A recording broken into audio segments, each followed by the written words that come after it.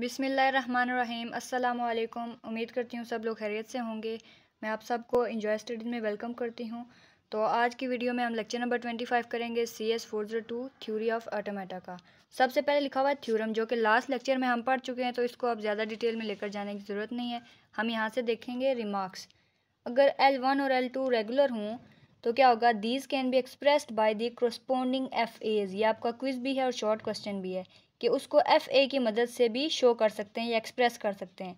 Finding regular expression defining the language L one intersection L two is not so easy यानी कि ये जो काम है एल वन का इंटरसेक्शन एल टू के साथ, ये ईजी नहीं है। किस काम के लिए?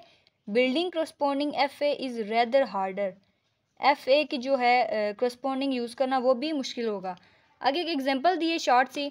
दो रेगुलर एक्सप्रेशन है एल वन और एल टू उनकी वैल्यू क्या है? सिग्मा ए और बी ठीक है?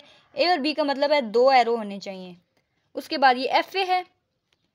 एल वन डबल ए होगा। एल टू क्या होगा? Even number of A even number of A मतलब दो ए हो गए, चार ए हो गए छः ए हो गए। अब यहाँ से इनिशियल ले ली। एफ़ वन की P minus P Q R F two क्या ले ली? वन और टू तो यहाँ से क्या करेंगे? पी इनिशियल स्टेट है। यहाँ पर बी की लगा देंगे लूप और उसके बाद ट्रांजिशन किसकी होगी? ए की, यहाँ पर। देखें, यहाँ पे उन्होंने क्या कहा है? डबल ए डबल ए का मतलब है साइड पे कुछ भी हो, लेकिन दरमियान में दो दफ़ा ए आना चाहिए। समझ लें, इस तरह हो गया, ठीक है? तो हम यहाँ क्या करेंगे? ये ए लेकर गए, और यहाँ पर बी अगर जा रहा है तो बी को वापस कर देंगे इसी की तरफ़। यानी कि बी यहीं पे रहे, लेकिन ए आगे जाए। ठीक उसी तरह अब यहाँ से ए लेकर गए, यहाँ पर। उसके बाद क्या होगा? यहाँ पर जो है लूप लगेगी वो ए और बी की ही लगेगी। एफ़ टू में क्या होगा? इनिशियल फाइनल ए की स्टेट होगी? यहाँ पर बी की लूप लग गई। ए गया ए वापस आया। ए गया ए वापस आया और बी की लूप यहीं पे चलेगी। उन्होंने क्या कहा था? इवन नंबर ऑफ़ ए हो गए। उसके बाद देयर करस्पॉन्डिंग रेगुलर एक्सप्रेशन में B R one A plus B का लूप ए प्लस बी का लूप ये आपने जहन में रखना है। Double A A plus B का लूप अब ये किस चीज़ को शो कर रहा है? यहाँ से आप कह सकते हैं। अब नीचे दिखाएँगे इसको शायद। Now F A accepting L one और उसका कॉम्प्लीमेंट, एल टू, फिर उसका कॉम्प्लीमेंट। बाय डेफिनेशन में भी एफ़ वन का कॉम्प्लीमेंट कैसे होगा? Initial state, final state. अब ये देखें ऊपर, ये एफ़ वन है ना, इसी का उल्ट करेंगे। कॉम्प्लीमेंट का मतलब है, जहाँ पर इनिशियल है, यहाँ पे देखें ये फाइनल भी साथ लगा दी। ये वाली कौन सी थी? ये सिंपल थी, इसको फाइनल बना दिया। ये वाली प्लस वाली थी, इसको ख़त्म कर दिया। तो पिछले लेक्चर में हमने पढ़ा था कि कॉम्प्लीमेंट कैसे लेते हैं। ठीक, उसी तरह यहाँ पर उन्होंने क्या लिया है? कॉम्प्लीमेंट लिया है। और ये जो आर वन है, ये इसके लिए है और आर टू ये इसके लिए। ये आपका क्विज़ बन सकता है कि या डायग्राम बनाएँ। बनी होगी तो पूछेंगे इसकी एक्सप्रेशन कैसी होगी। ठीक, उसी तरह क्या होगा? एफ़ ए टू का कॉम्प्लीमेंट भी होगा। कि यहाँ पर देखें, ये इनिशियल फाइनल थी ना फाइनल बस ख़त्म करनी है। इसका मामला कॉम्प्लीमेंट का सिर्फ़ फाइनल के साथ होता है। फाइनल ख़त्म कर दी, पीछे इनिशियल बाजी। ये वाली ना फाइनल थी ना इनिशियल तो इसको बना दिया final now F A accepting L one and two का complement using the method describe earlier may be as follows अब जो कि पहले हमने मैथड दिखाया था, उसके मुताबिक भी हो सकता है। और यहाँ से ये चीज़ जो है ना, मैंने आपको मिड टर्म के लिए बहुत अच्छे तरीके से समझाई थी। तो ज़्यादा यहाँ से डिटेल में जाने की ज़रूरत नहीं है। पहली वाली लाइन समझाती हूँ। जेड वन पे इनिशियल फाइनल है। पी और वन की रीडिंग करेंगे ए और बी के साथ। तो यहाँ से मैं आपको समझा देती हूँ कैसे होगी। इनिशियल फाइनल स्टेट कौन सी थी? पी ये वाली थी। पी से ए को रीड करेंगे तो क्यू पे चले जाएँगे। अब ये थोड़ी सी ना आपने जहन में रखना है। पी से ए को रीड किया क्यू पे चले गए। ये देखें, यहाँ पे लिखा हुआ है ना? पी पर ए को रीड किया क्यू पर चले गए। ठीक है? अब नेक्स्ट वन वाला है। ये वाली क्लियर होगी। अब इसको देखेंगे। वन से अगर ए को रीड किया तो टू पर चलेगी। ये देखें। वन से ए को रीड किया तो टू पर चलेगी। इसका नाम दे दिया जेड फोर। क्यों दिया? ये मैंने साइड पे लिखा हुआ है, आप एक दफ़ा इसको जब पूरे को देखेंगे ना तो समझ आ जाएगी।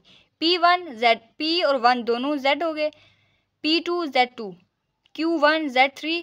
Q two Z four. इसको एक दफ़ा रीड करेंगे इनशाला समझ आ जाएगा। कोई मुश्किल नहीं है। ऑलरेडी मैंने आपको समझाया हुआ भी है।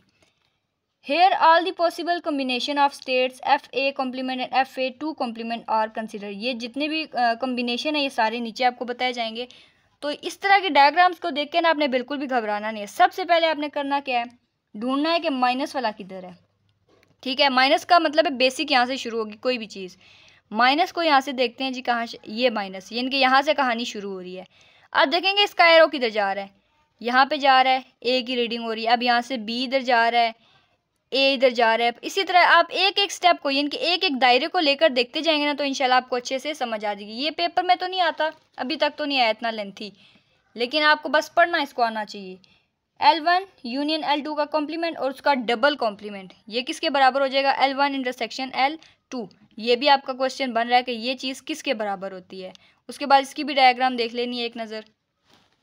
Corresponding regular expression can be determined as follows the regular expression defining the language L1 and L2 का intersection can be obtained converting and reducing the previous अब ये कन्वर्टिंग रिड्यूसिंग ये सारे जितने भी प्रोसीजर हैं हम लास्ट लेक्चर्स में पढ़ के आए हैं। लास्ट लेक्चर से मुराद मेरे ख्याल में मिड टर्म में ये सारी चीज़ें हम लोगों ने पढ़ी हुई हैं।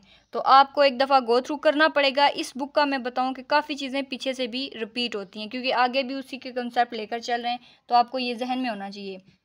G T G as after eliminating state Z two and Z six अब ये नेक्स्ट स्टेप क्या था? रिड्यूस करना है किसी चीज़ को या फिर किसी ना किसी स्टेट को निकाल देना है। अब ये सारा काम वही लिखा हुआ है। अब ये जो थी ना, ये फॉर्म थी एक नॉर्मल आप कह सकती ठीक है? अब यहाँ से एलिमिनेट क्या किया? After eliminating the state Z three Z three यहाँ से देखते हैं ये वाली स्टेट इस स्टेट को इन्होंने निकाल दिया, यहाँ से माइनस किया तो ये इस तरह की शेप बन गई, ठीक है? जेड वन था, इधर आ गया। जेड फोर यहाँ आ गया और जेड फाइव यहाँ पर आ गया। बाकी की इस तरह ये जितनी भी चीज़ें थी ना, ये सारी इन्होंने क्या की? यहाँ पर प्लस और मल्टीप्लाई करके एक साथ लिख दी तो ये हमारी बन गई एलिमिनेटिंग स्टेट अब उसी डायग्राम से हमने किया, अब जेड फोर को निकाल दिया। जेड वन फाइव और फोर की जितनी वैल्यू थी यहाँ पर लगा दी और बाकी ये लूप इसके ऊपर चला दी। जिनके साथ स्टार लगा हुआ था, उनको यहाँ पे लूप में बना दिया और ये जो जेड फोर के साथ थी, वो सारी इसमें ट्रांजिशन करवा दी। उसके बाद जेड वन निकाल दी। Eliminating the loops at loops मतलब ये वाली जो चीज़ें हैं, ये इसको एलिमिनेट करेंगे तो ये भी इधर इस तरह आ जाएगी। तो ये देखो क्या किया? बी ए बी का स्टेरिक ए बी तो यहाँ पे स्टार लगा के, इस जगह पे स्टार लगा के यहाँ पर उसको ऐड कर दिया। ठीक उसी तरह अब ये वाली चीज़ भी यहाँ लगा के उसके बाद स्टार लगाया ये चीज़ देखनी है स्टार किस जगह पे आया है, ठीक है? अब ये बिल्कुल आसान होगी। एक ट्रांजिशन होगी और उसका रिज़ल्ट इस तरह से आ गया। अब नेक्स्ट है F A corresponding to intersection of two regular language short method अब शॉर्ट वाला मेथड कौन सा है कि ये जो ऊपर इतना हमने लेंथी काम किया है, इसका अलावा कोई शॉर्ट तरीका भी है ये काम करने का?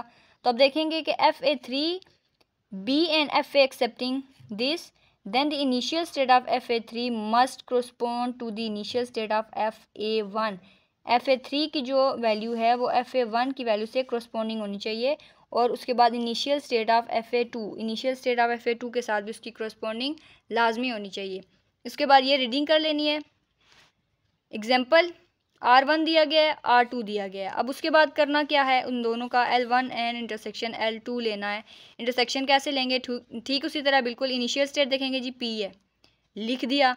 उसके बाद इसकी इनिशियल स्टेट वन लिख दिया। दोनों की इनिशियल लिख दी। माइनस साइन लगाया, नाम दे दिया जेड वन का। अब इसी से देखेंगे पी पे खड़े होकर अगर ए की रीडिंग करें तो क्यू पे चले गए लिख दिया। वन पे खड़े होकर ए की करेंगे तो टू पे चलेगी। इसी तरह लिख दिया। जेड फोर नाम दे दिया। अब जेड टू का देखते हैं। जेड टू पे पी और टू था ना तो यहाँ से हम देखेंगे पी पी से अब क्या रीड करना है? ए ठीक है? ए को रीड करेंगे तो हम क्यू पे चले जाएँगे। और उसके बाद उसके बाद क्या होगा? ये टू वाली रीडिंग है ना तो टू को देखेंगे अब हम कैसे करना है? टू से ए की रीडिंग करें तो। टू से ए की रीडिंग करें तो वो चला गया वन पे। यहाँ पे हमने वन लिख दिया और उसको नाम दे दिया जेड थ्री का। बिल्कुल आसान है। बस थोड़े से आपके कॉन्सेप्ट क्लियर होने चाहिए। क्रोस्पॉन्डिंग ट्रांजिशन डायग्राम में बी एज फॉलोज उसके बाद ये जो हमारे पास वैल्यू आई है ना, जितनी भी, ऊपर क्या लिखा हुआ था? ये देखें।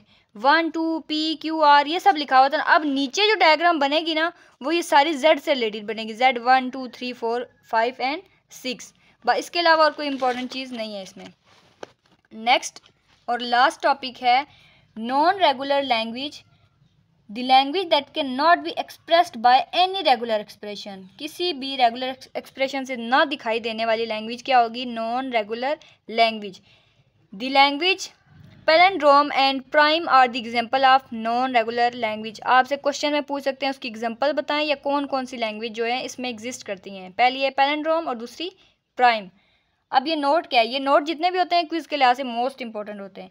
It is to be noted that non regular language by Kleene theorem can't be accepted by any F A or T G T G और एफ़ ए क्लीन थ्योरम के मुताबिक कोई भी आप कह सकते हो एक्सेप्टेंस नहीं करते। नेक्स्ट एक एग्जांपल दी गई है। इसको आप लोगों ने एक नज़र देख लेना है। नेक्स्ट लेक्चर में भी ये होगी तो इंशाल्लाह वहाँ पर मैं ट्राई करूँगी कि कंप्लीट करवा दूँ। तो उम्मीद करती हूँ लेक्चर की आपको समझ आई होगी। शॉर्ट लेक्चर था, इसलिए मैंने आपको शॉर्ट शॉर्ट ही समझाया है। तो मिलते हैं नेक्स्ट लेक्चर में। तब तक के लिए रखिएगा अपना बहुत सारा ख्याल और चैनल को लाजमी सब्सक्राइब किया करें, क्योंकि आप सिर्फ़ वीडियो देखते हैं ना दस पंद्रह मिनट की, बहुत ज़्यादा टाइम लगता है वीडियो बनाते हुए सेटिंग करते हुए तो आप लोगों को थोड़ा सा एहसास होना चाहिए कि अगर ये देखें आप यूट्यूब से ऑनलाइन देख रहे हैं, आपको देखना चाहिए ऑनलाइन ही देखना चाहिए। अगर कोई बंदा आपके लिए मेहनत कर रहा है तो उसके पास इतना हो कि कोई बंदा है जो थोड़ा सा रिस्पॉन्सिबल है आगे से। अगर आप लोग रिस्पॉन्स नहीं करते तो फिर यूट्यूब पे पता है बंदा बनाते हुए थोड़ा डीमोटिवेट हो जाता है कि अगर आपका कोई अच्छा रिस्पॉन्स नहीं है तो फिर हम क्यों अपना टाइम वेस्ट करें? तो मुझे यकीन है कि इंशाल्लाह आप ट्राई करेंगे। अच्छा रिस्पॉन्स देने के लिए तो मिलते हैं नेक्स्ट लेक्चर में। रखिएगा अपना बहुत सारा ख्याल। अल्लाह हाफिज़।